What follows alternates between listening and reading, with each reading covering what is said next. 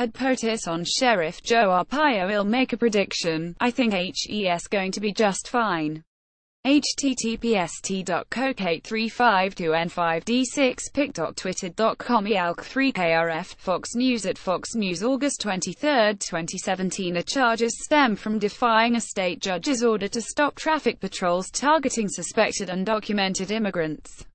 Fox News reports President Trump may soon issue a pardon for Joe Arpaio, the colorful former Arizona sheriff who was found guilty two weeks ago of criminal contempt for defying a state judge's order to stop traffic patrols targeting suspected undocumented immigrants. In his final years as Maricopa County Sheriff, Arpaio had emerged as a leading opponent of illegal immigration. I am seriously considering a pardon for Sheriff Arpaio, the president said Sunday, during a conversation with Fox News at his club in Bedminster, NJ. He has done a lot in the fight against illegal immigration. He's a great American patriot and I hate to see what has happened to him. Trump said the pardon could happen in the next few days, should he decide to do so. Arpaio, 85, was convicted by U.S. District Judge Susan Bolton of misdemeanor contempt of court for willfully disregarding an Arizona judge's order in 2011 to stop the anti-immigrant traffic patrols. Arpaio had maintained the law enforcement patrols for 17 months thereafter. The Gateway pundit previously reported a Bill Clinton-appointed U.S. District Judge Susan Bolton slammed Arpaio with a guilty ruling after leftist groups spent nearly a decade attacking him legally over his aggressive policies against illegal aliens. Arpaio is 85 years old and now faces up to six months in jail while illegal aliens roam free.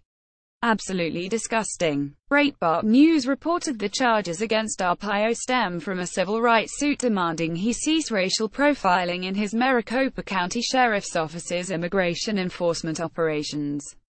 After a federal judge issued an order demanding certain practices, Arpaio was charged with contempt for continuing to try to enforce the law as he saw fit because Arpaio was charged only with a misdemeanor punishable by a maximum of six months in jail. The U.S. Constitution does not guarantee him a right to trial by a jury of his peers. Arpaio and his attorneys repeatedly petitioned for a jury, only to be denied by Judge Bolton in March and again in May. Sources familiar with the proceedings have told Breitbart News the decision to charge only the misdemeanor was likely a ploy by federal prosecutors to avoid a jury trial in the community where Arpaio served as sheriff for more than 20 years. Advertisement National Center for Police Defense NCPD President James Fotis, who was present in the courtroom, was highly skeptical a Phoenix jury could have ever found Arpaio guilty. He told Breitbart News I sat through three days of testimony and it was clear from the beginning that the DOJ had no evidence to make their case. In fact, all of the DOJ's witnesses made it clear that Judge Snow's order was unclear and ambiguous. There is no way a jury would have determined that the sheriff willfully and intentionally violated the judge's order.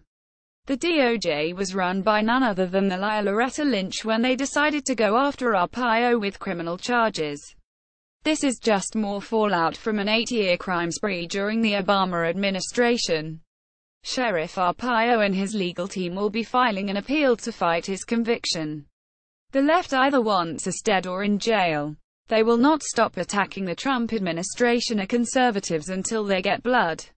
Meanwhile Hillary, Comey, Obama, Susan Rice, Loretta Lynch, Holder are freely walking around.